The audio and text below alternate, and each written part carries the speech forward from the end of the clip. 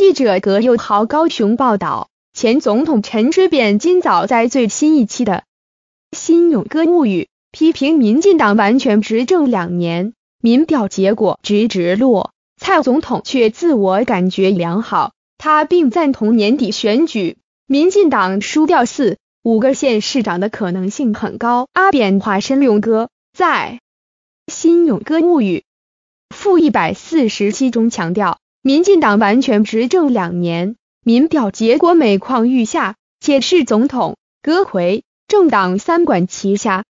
令人不解的是，蔡总统似乎自我感觉良好，自认台湾经济是二十年最好的状态。殊不知，这两年台湾 GDP 还一直在保一保二打作战呢。阿扁再度枪声说。根据党内县市长选举多位重量级操盘手的私下评估分析，民进党输掉四五个县市长的可能性很高。依照民进党政治传统，败选的党主席下台负责。犯众怒的法务部长邱泰三不下台，就等住看蔡主席下台吧。